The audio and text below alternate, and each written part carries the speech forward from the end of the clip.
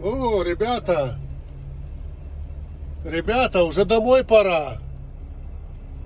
Оу! Домой пора. Уже прошло 3-4 часа, а вы еще тут.